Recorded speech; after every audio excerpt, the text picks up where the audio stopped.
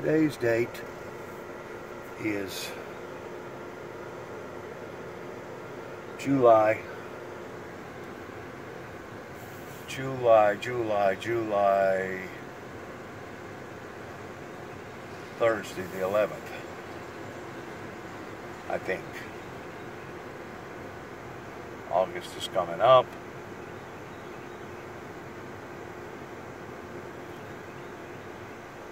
And then the month of September after that. July the 4th was last Thursday. This is the 11th, I believe. Either the 10th. No, I know it ain't the 10th. It's the 11th or possibly the 12th. I think it's the 11th. But anyways, I'm here right now at Mr. Rollins' house and we're going to do a will and testimony of what this gentleman has to say pertaining to his last will and testimony. Mm. He just wants to verify the problems that he's been experiencing in regard to territorial rights in regard to his father's last will and testimony. Since his father, that I knowed very well, passed away in January of thir- January third, two thousand nineteen. January 3rd of this year, Yep. there has been an ongoing slot of controversy in regard to how the will was written out and his intentions, which would be Interpreted. interpreted. What was your father's name? My father's name was Donald Rollins. No middle initial. No middle initial. How old was he whenever he passed? He passed at ninety-two. In 1992? No, he was ninety-two. He was 92. He was 92 years of age. Where was he born? Uh, he was born in Kentucky, Hendersonville. Born in Hendersonville, Kentucky. I personally knowed Mr. Rollins. Now you can hold it yourself. Okay. Hold it just like that as we're going down the road because I cannot drive and I got to be hands free. So you, you can hang on to the phone. So I got to go like this. You do if you want to see you. Okay. If you want to visual, if you want to see you talking. Yeah. Okay. Or if you want to just view the property for right now as we're driving by. Yeah. How many acres is here? Seven? No, this is two point three, two and three quarters. Two and three quarters acres. Yep. Two and three quarter acres. And this is in between Sharon, Tennessee and Sidonia, Tennessee. Yes. Yeah, it's a nice little property. It's spread out and cleaned up, and used to be a lot more trees. But my father and, and my older brother, he uh, they leveled out quite a few of them. Right. Point it towards the property there. Yep. And now turn the phone back towards you. Yep. Back around towards you. There you go. And Um, your father's wife, well, she was originally from this area, correct? my mother, Sidon- uh, she was originally from Sidonia. Right. What was her name? Oh, Joan du- Willard Rollins, What was her maiden name? Box, She was a Box. but she was originally a Davis. Originally a Davis. Okay. And she married into the Box family? Is that how that become? No, Her father become her fa- mother. Her mother Yeah. was a Box. Yes. Is that part of the same family up here that owns the uh, B&R gear? Yes, it is. It That is. was that was her brother. That was her brother. I yeah. see. Benny Benny Box. Eddie Box. Yeah, he he's been laid to rest here at the local cemetery that we're driving by about now. Right here in front of Victory Baptist Church on Highway 89. Yep. Is it over where that American flag is? No, it's in a very far corner. Far corner beyond the American flag. Yep. I Yeah, see. he wouldn't have that. Okay. But- Anyways, the issue has come up pertaining to uh, your father that whenever he passed away, the property was supposed to be divided equally, correct? Sure. I mean, that's exactly how it was explained to me by him. Multiple times, Multiple times. you know.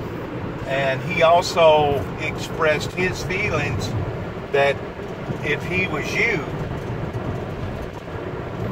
that once he did pass, he would that he advised you to cut all ties And run. and run. Oh yeah.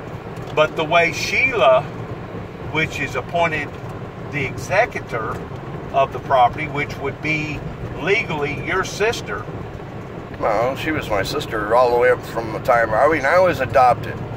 from from her sister sister, Yeah, from her older sister. from her older sister. and So she was automatically going to be in the family, regardless whether he was adopted or not. well, it was all as they call it in-house. Right. So we were all relatives one way or the other. But somehow or another, they manufactured an ideal, a plot, to put everything in her control way before you ever come from Ten- Illinois back to Tennessee, correct? Oh yeah, over the last 20 years, she's she concocted some kind of idea because uh, 2013, 14, somewhere around there, uh, my older brother overdosed, and they had been to uh, so many funerals in the past that they watched and talked to the families because they knew them so well Right. And found out that all when they got put in the retirement home or, or, or the Weakley County nursing home that oh the bills were so expensive they lost their houses their accounts everything Well, whenever your father originally was from Chicago that moved down here, yeah you told me that you had some sort of escrow that was set up in your account, right? well my mother she used to work at Pepperidge Farm and from the time I was five years old she was buying stocks in care you know and I was the co-owner Right. And when I got to be 21, I had to sign off on them. And that was about six years before they came down here. Right. So that money was in, locked up into locked up in an IRA or whatever, however they put it. I think it was uh, just a CD or something. Right. And she told me when I signed off on it, she says, "Whatever we buy, you'll own half." Well, okay, that's fine. And what the hell did I know? I'm a 21 year old. My mother and father asked me to sign something. I signed it. I didn't look for value out of it because you know they, they it was their investment. Besides that, you always felt assured that you was part of the family, not only uh, metaphorically but legally, because they did legally adopt you while they was up in Chicago. Oh correct? yeah, oh yeah. So you've been le- uh, legally uh, uh, Family member since I was three and a half. since you was three and a half years old. But the papers didn't get finalized until I was five years old. Okay. You're saying that because of the boost that was obtained by your original mother's inheritance pertaining to the escrows up in Chicago help your father, your biological father that has passed away since January of this year, help them to be able to make a sizable down payment on this. They bought the Uh, property outright, cash. They cashed in all those stock. They cashed in most of those stocks up north Right, and with Pinnacle Bank. Right. And they have the records and all that stuff, and every single one of them had my name on the on the, on the front of that bond. Right. So, And now, since your father has passed, and since my mother passed 15 years ago, right, and my father passed recently right, in the Uh, past six months, in the past six months, my uh, my sister has taken upon herself to weed me out of the will, and my older brother too, only because she's very greedy, and she's always never had control of her life, and now that she's got control, she's power hungry. she's using this as uh, Leverage to try to use me as a what do you call it? A uh, pawn, oh no, this is a Ponzi. Oh uh, no, this is. I want to say she wants to try to make me live a life of servitude to her. almost like a slave. Oh yeah, pretty much. And I, as far as I know, uh, slavery isn't. Uh, it, it has been abolished. It's been abolished now since uh, 18. And Lincoln eight- took eight- care of that. 1880 or something like that. Yeah, something like that. And Lincoln took care of that. Right. But, uh, But the bottom line is they're using this property. They have she has weaponized this property to the extent that it's either my way or the highway, and because of it, she is refusing to issue out your part, which rightfully belongs to to to you, probably more so than any other member I agree. because of the escrow that they got up in Chicago that they cashed in five or six years before they come down here and bought this estate. Um, as soon as they came down here and bought this estate, every single one of the other kids, not every single one, but most of them, there was four of them, and every single one of them came down here and just sponged for 20 years. Sure, And free handout. my dad didn't have too much left, but what he did have was locked up, and and he did receive a couple of sizable checks from other relatives that had passed on and left left him uh, a sizable amount. And we're talking less than I don't know, probably less than two hundred thousand dollars, counting the house. counting the house. But still, It's the principle of it. it's the matter of fa- the fact that my father said that when he dies, he says she'll be the executor. She has her orders, and her orders are that uh, she is to uh, Liquidate. Calm down. I know this better than anybody, so let me fill in the blanks. Uh, uh, letting uh, sh- her orders are to to uh, gather up all the all the debts and gather up all the expenses and everything else, pay them all off, put him in the ground with his with my mother in the cemetery with a prepaid plot because the plot has been paid for for over 10 years. Uh, he wanted to be buried, but she decided to cremate him.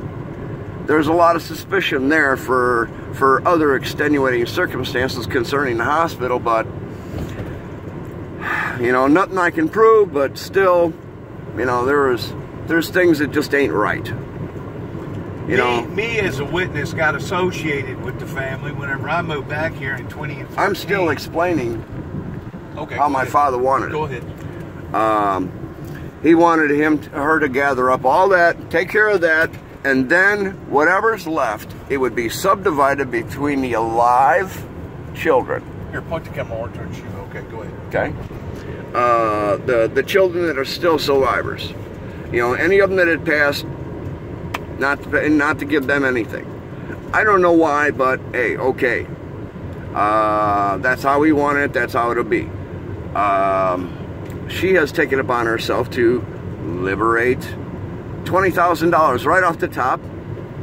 Uh, buy her a brand new car, So it's and not, and to take a forty not brand new. It's pretty new. It's a brand new car. She bought it Brand- second-handed. Brand new car. It had zero miles on it. Well, it had a few miles on it, but it didn't mean shit. Because that's just the one they rode the people around and say, oh, you like this car or not? Okay. Um, Look here. Look here. boy, that really is a shit house. Let me